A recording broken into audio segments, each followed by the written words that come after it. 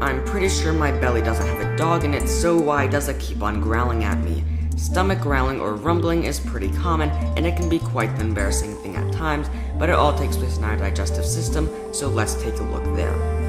Our digestive system is pretty much this big tube where, you guessed it, things get digested. It can span from 20 feet to 40 feet, so to get things from the mouth to the anus takes quite a bit of effort. To accomplish this mass transit of food and digestive juices, the body goes through a process called peristalsis.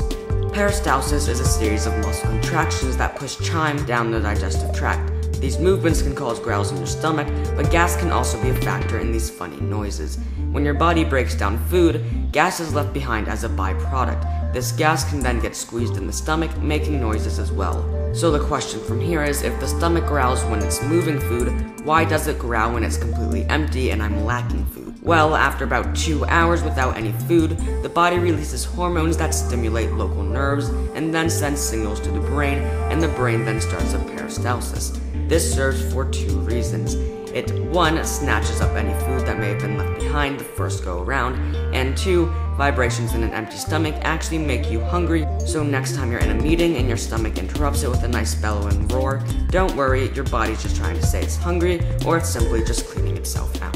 Thanks for watching. If you enjoyed, be sure to rate, comment, and subscribe. If you'd like to see some other content by Science Saturdays, stick around, those annotations will be up pretty soon. Now, if you've been watching my videos for a long time, you'll know that whenever I go from slide to slide in my videos, I just use a standard fade transition. I use it because it's pretty smooth, and it's not too distracting from the content, and that's why I use it. But I'm curious if you guys want to see more dynamic transitions, kind of like this one right here, which is called Vortex, and then there's even ones like Shred and Honeycomb, and there's more dynamic ones. So my question to you guys is, do you want to see more dynamic um, transitions, or do you want to just stick with what I have currently? I like the fade because it's not as distracting, but then again, those ones that I just showed you look pretty cool. So what do you guys want to do? Let me know in the comments below, and I'll be sure to read them. Once again, thanks for watching. Science Saturdays, bringing free education to the modern world.